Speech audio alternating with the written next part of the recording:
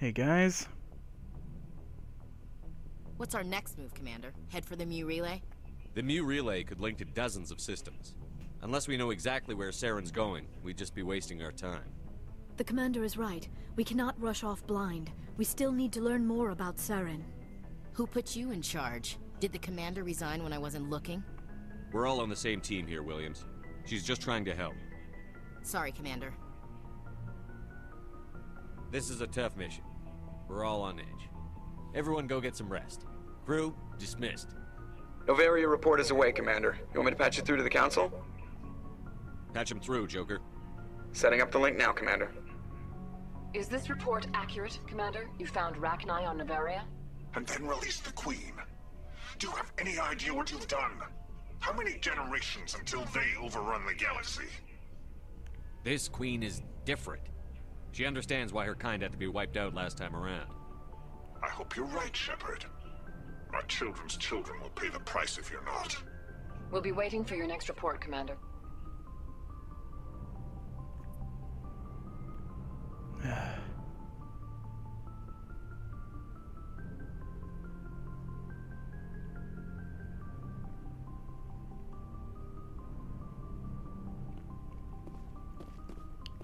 Well, now that I think about it, let's take a look at the thing, see if there are any...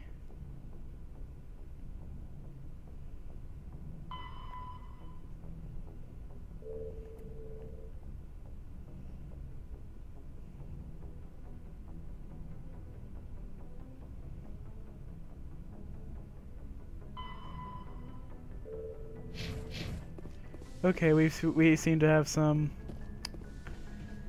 some, some side missions to go through, but first I want to do some crew conversations. Anything Joker has to say about it? Boy, am I glad to be off of Noveria. I don't know which was worse, the cold or the corporations. One will freeze your balls off, the other will sell them out from under you. With all due respect, Commander. I have to go. Alright, see you.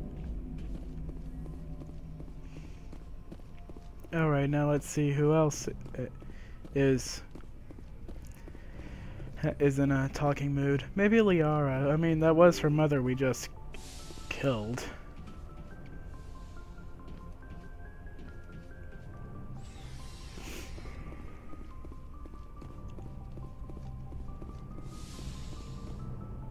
Oh, guess these. Ugh, sorry.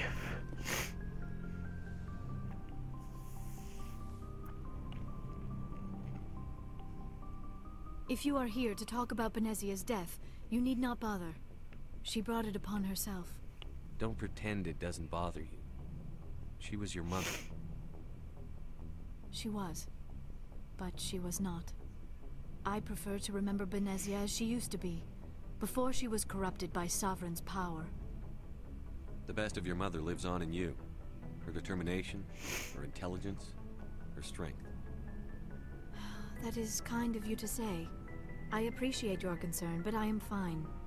Benezia chose her path, just as I have chosen mine. I am with you until the end, Shepard. I should go. Goodbye, Commander.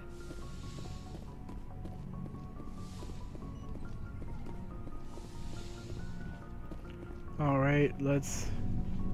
I wonder if Kaidan has something new to talk about. To talk about.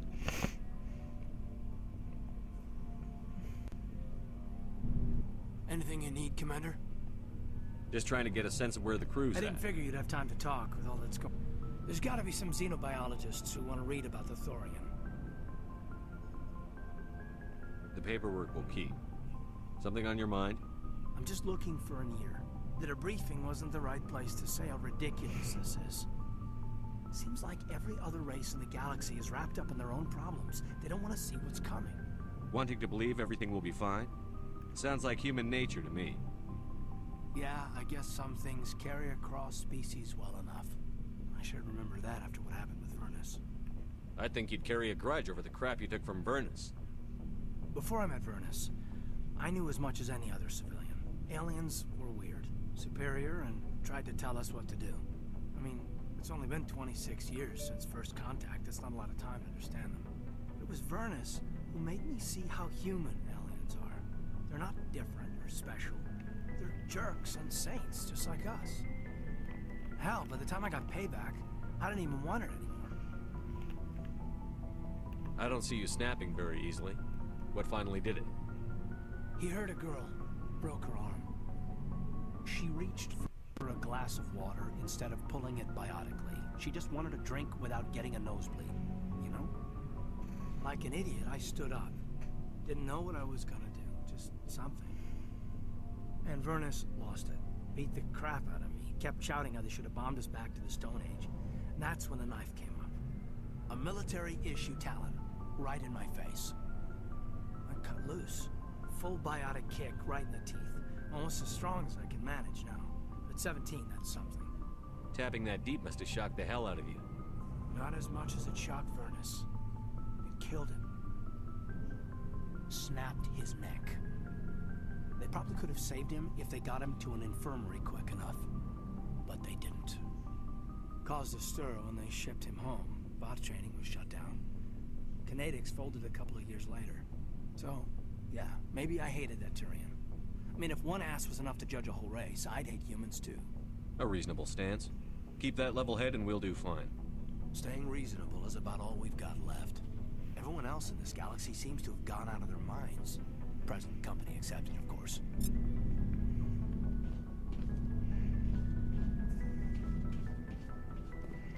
Alright, now that we're done talking with, with Kaidan, let's head down and meet with the rest of the crew.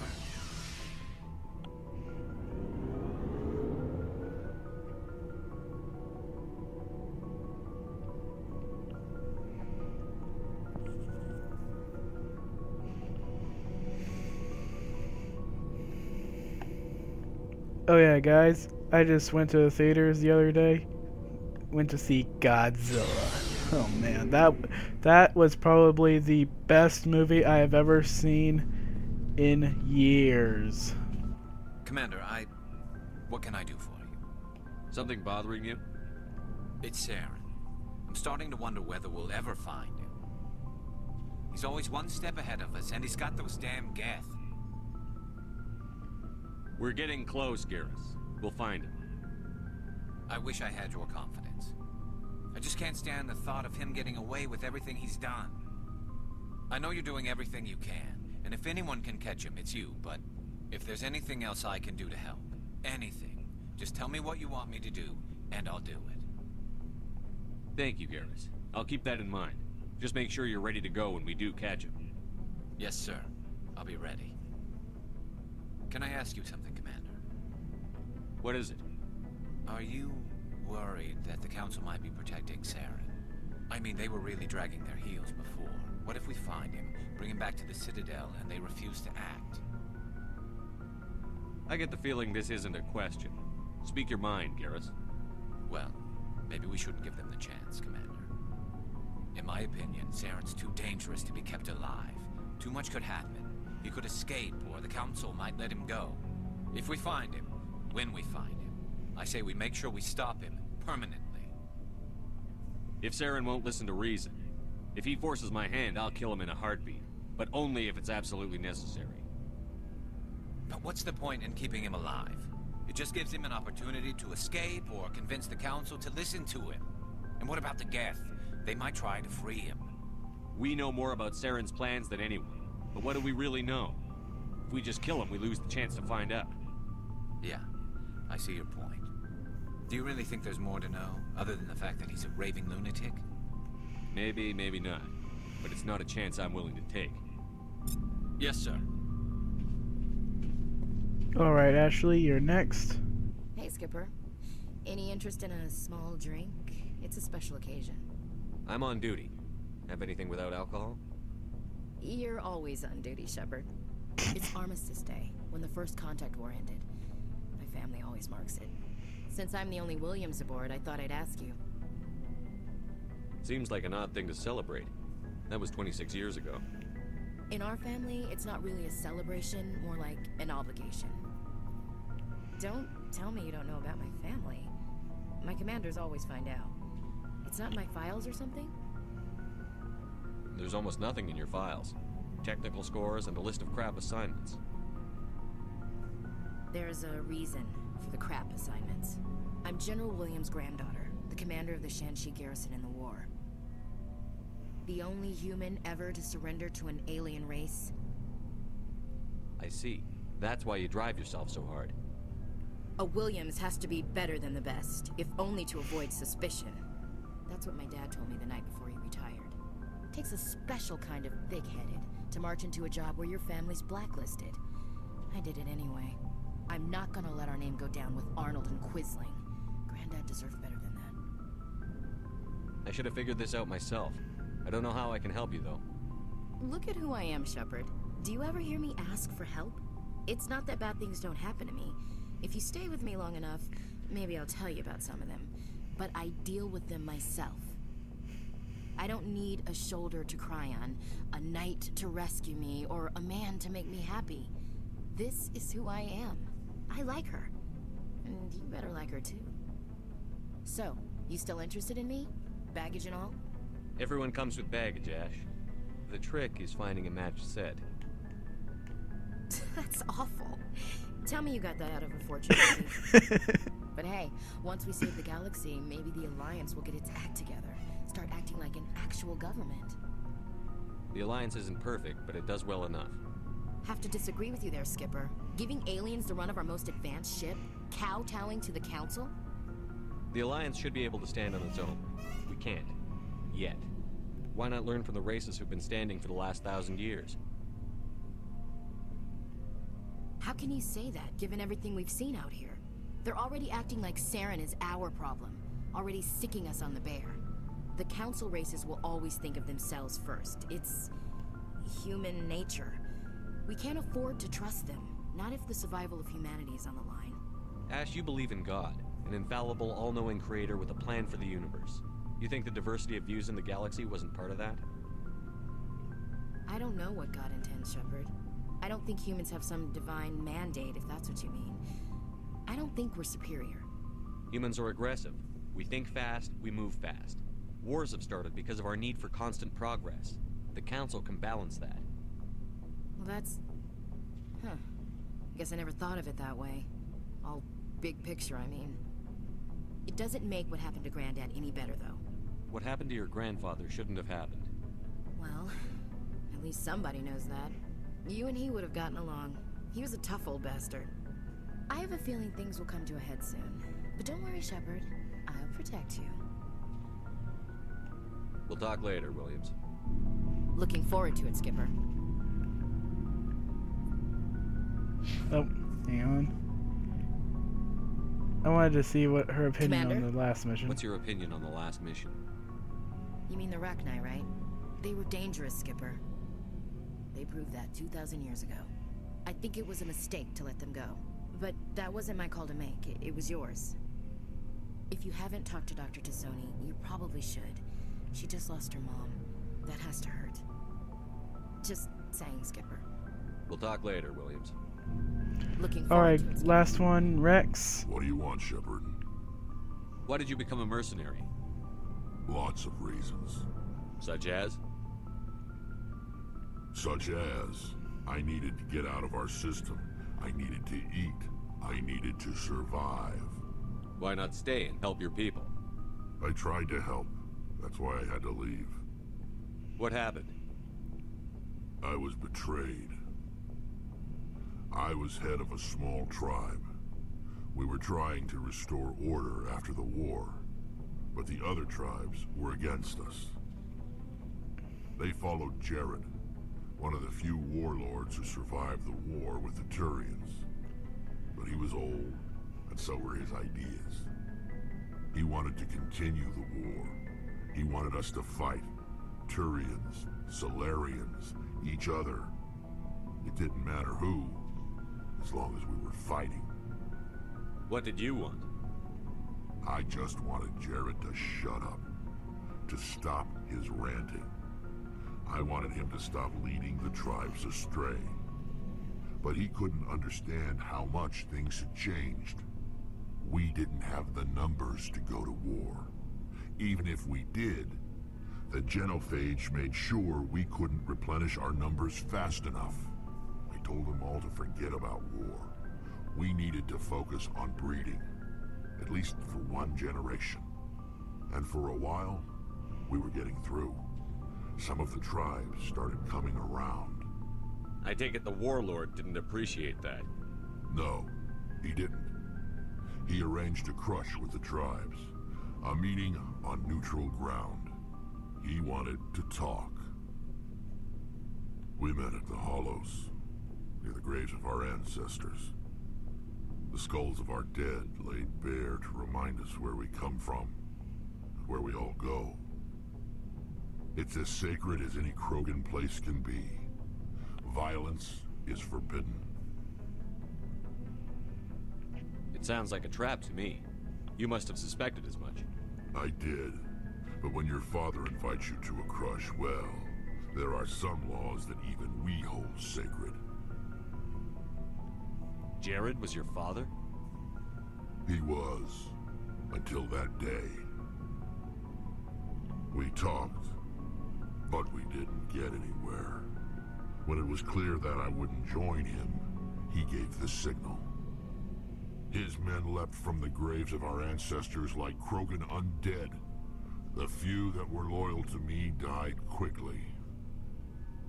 I escaped with my life, but not before I sank my dagger deep into my father's chest.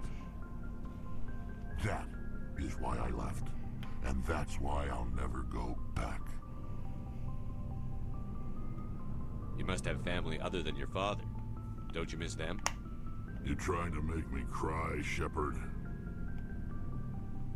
I've got some unfinished business with my family, but that's all. What kind of business? Before I left, I made an oath to my father's father. I swore to recover my family's battle armor. It was taken from him after the uprising. Who has it? Originally, it was taken by the Turian military. We weren't allowed armor or weapons after the war. Now, it's in the hands of Tonn Actus, a Turian scum who collects relics from the war. He's made millions selling Krogan artifacts that were stolen from my people. He's got several bases where he stores his goods, all fortified and guarded. I just don't know which base has my family's armor. Just tell me where to start looking. I'll upload the data to your nav system. But Commander, I want to be there when you find him. So long, Wrex. Shepard. Alright, all we have left to, to talk to is Tali, and I think I'll go ahead and end the episode there. Shepard, I'm glad you're here. Good to see you smiling again, so to speak. I'm sleeping much better now. I guess I'm getting used to how quiet your ship is. I still think a lot about my pilgrimage, though. I know Saren's our top priority, but with all the worlds we go to, I was hoping to find something to bring back to the flotilla. We've still got a long way to go. You'll find something to take back. Yes, but it cannot just be some derelict ship my people can use for salvage. It has to be more than that. There's a lot expected of me. What's so special about you? It's my father. He's the senior member of the Admiralty Board. He's one of only five people who can overrule the decisions of the Conclave for the good of the migrant fleet. My father is responsible for the lives of 17 million people. Our entire race is in his hands, and I'm his only child. It must be tough on you. My people place a high value on family and ancestry. There's an unspoken expectation that I'll live up to my father's example. Everyone's waiting for me to do something great on my pilgrimage. Something that will forever change our lives for the better. If I don't, it's like I failed, and that reflects badly on both me and my father. The work you're doing here is more important than anything any Quarian has ever done before. Yes, I know. But you have to understand Quarian culture. We're a very insular society. The events beyond the flotilla don't much matter to the average citizen. Our greatest dream is that one day we'll return to our homeworld and drive out the Geth.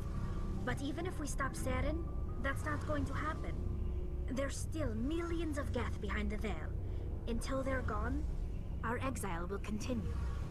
What would you need to bring back to make everyone happy?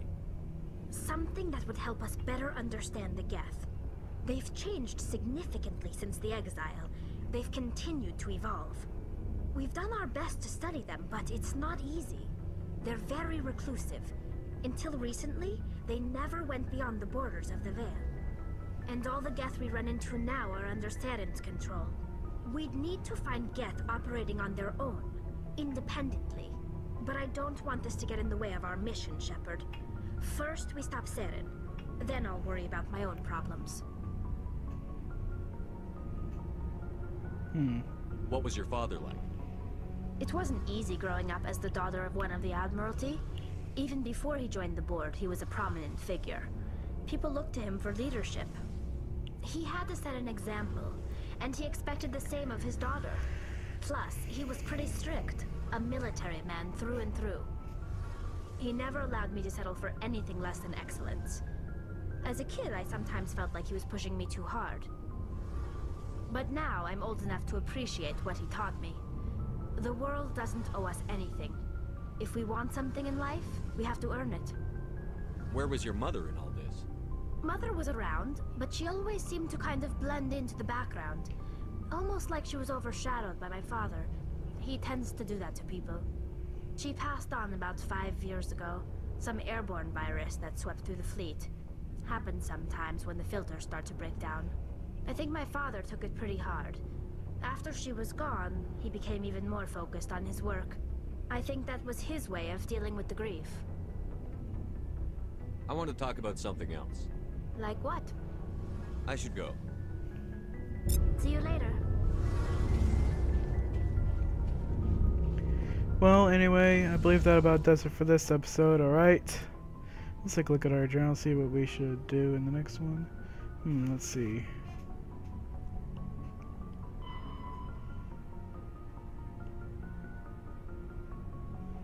Argo Argos Rho Cluster. Yeah, we're going to be doing some side missions here. Next time on Mass Effect, we're going to be doing some side missions before we head to Virmire. See you guys later.